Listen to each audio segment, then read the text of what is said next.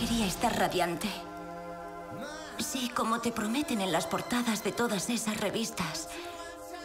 Pues lo llevo claro. El embarazo es un asco.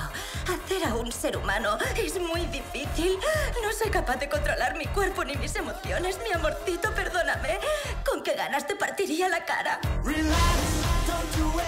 Hemos reservado la suite de lujo. ¿Este es su padre? Es mi marido. ¿Por qué todo el mundo nos pregunta? Dijiste mono, no bueno que te cagas. Te lo has montado bien, Rosy, pero que muy bien. ¿Dijiste que era mona? Ella le lleva por donde quiere. De haber sabido que tendría estas tetas, me habría quedado embarazada hace años. Seremos una familia. El grupo de los tíos. ¿Quieres que Alex espabile? Mándale con los tíos.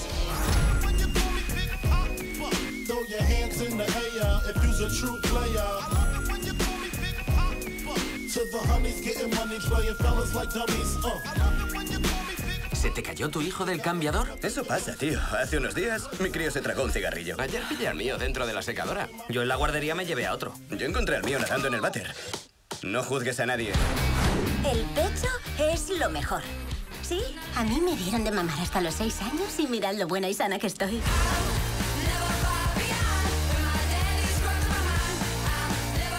Mírala, lleva tacones de 15 centímetros. Jolín, parece un unicornio mágico del embarazo.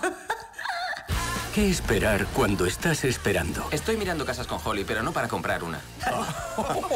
No, no, hermano. Si tu mujer dice que solo miráis casas, es que compraréis una. No, ¿qué va? Lo que yo te diga. No compraré ninguna casa. Ah, fíjate en los recibos. Bienvenido al club de la hipoteca, capullo.